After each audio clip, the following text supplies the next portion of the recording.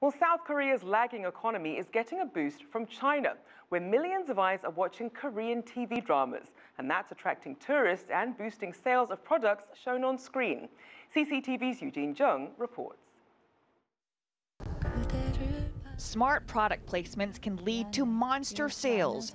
At least that seems to be true for products featured in the South Korean drama Descendants of the Sun, which aired simultaneously in China from February to April.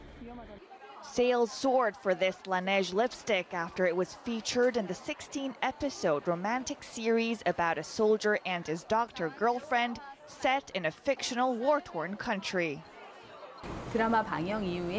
After the drama aired, Laneige's lipstick became extremely popular and even got the nickname Song Hye-kyo lipstick.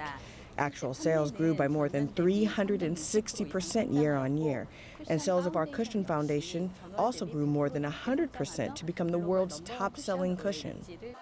Shoppers have been snapping up anything and everything exposed on the show, from ginseng health products to military uniforms. Export contracts allow the drama to be seen in 32 countries. Previously, it was another hit, the romantic comedy My Love from the Star, that broke all revenue records for a South Korean production. Now, Descendants of the Sun is taking top honors with estimates of more than 3 trillion won or $2.5 billion in economic benefits for the country. Even South Korean President Park Geun-hye said this military romance drama has had a positive impact on the country's cosmetics, fashion and food industries. And as you can see behind me, we've already seen Chinese tourists flock into this country after watching South Korean dramas and other TV programs.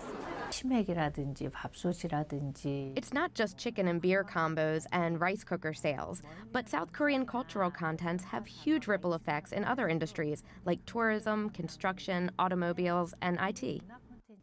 While sluggish exports and tourism have led to calls for stimulus measures from the government in recent months, popular TV dramas with a winning mix of romance, popular actors, and beautiful settings are giving the economy a much needed boost. U-Jean Jung for CCTV, Seoul. If you like what you just saw, follow us on social media and visit our website, cctv-america.com.